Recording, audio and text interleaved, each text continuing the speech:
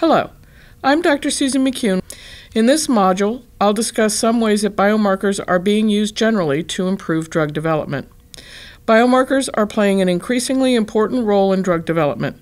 They can help improve clinical trial efficacy and reduce uncertainty in regulatory decision making.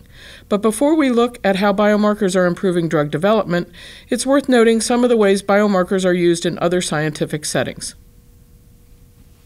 Clinical biomarkers are used every day in healthcare. For example, some people track their blood pressure, a biomarker for cardiovascular health. Other people test their blood glucose levels as a biomarker to make sure their diabetes is under control. Biomarkers improve health through novel means of diagnosing disease and providing ways to determine responses to new treatments. Biomarkers have the potential to enhance public health through a better understanding of diseases and treatments. In addition to their use in everyday healthcare, biomarkers are important in the drug development paradigm. Drug development is really a continuum, starting with basic research and extending through drug discovery, preclinical development, clinical development, and post market safety assessments. Biomarkers are routinely used across this continuum in studies to support drug approvals. For example, Biomarkers can help to predict patients who might respond better to a drug from a safety or efficacy perspective, monitor the safety of a therapy, or determine if a treatment is having the desired effect on the body. Biomarker based strategies allow for a more biology targeted approach to drug development and may enable time and cost savings through leaner, more focused clinical trials that have a higher overall probability of success with respect to both efficacy and safety.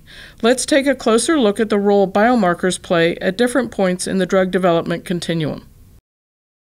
In the early stages of drug development and preclinical testing, biomarkers may help to identify molecular pathways that contribute to disease. During prototype design, biomarkers can be used to identify the mechanism of action of a drug or help in selection of the drug target. In the preclinical development phase, biomarkers can be used in preclinical safety assessments in identifying the mechanism of action of the drug or in helping with dose selection.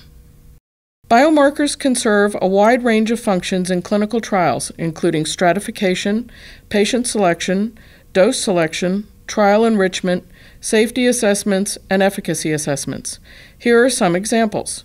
As an example of patient selection, galactomannan may be used as a diagnostic biomarker to classify patients as having probable invasive aspergillosis for enrollment into clinical trials of antifungal agents to treat invasive aspergillosis.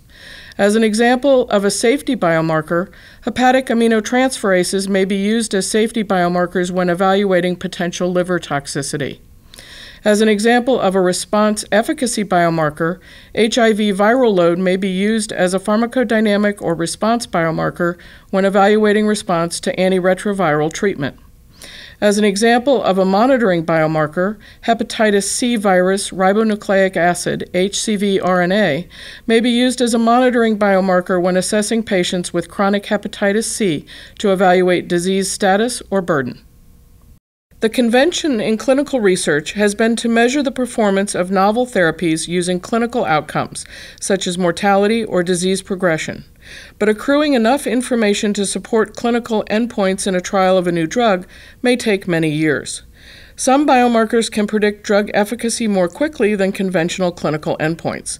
They have the potential to accelerate product development in certain disease areas, but the amount of data needed to understand these biomarkers as surrogate endpoints is much higher than the amount of data needed to support use of an enrichment biomarker.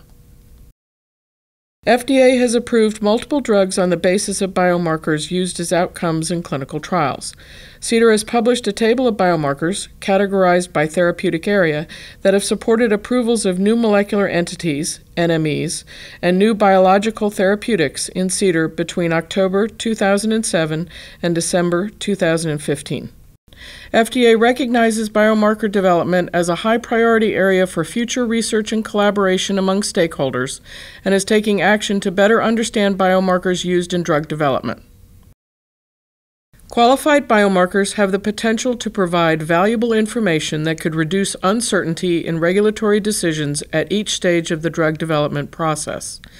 CDER's biomarker qualification program strives to make biomarker data publicly available by establishing a biomarker's value for a particular context of use in drug development and regulatory review. Once qualified, a biomarker can be used in multiple drug development programs without a need for CDER to reconfirm the suitability of the biomarker for that specific qualified context of use. This program has the potential to advance public health by using biomarkers to streamline the drug development paradigm. We encourage drug sponsors to consult with the relevant review division as early as possible in drug development regarding the use of biomarkers in their planned clinical trials. Please consult CDER's website to learn more about biomarkers and to access additional information about biomarker qualification.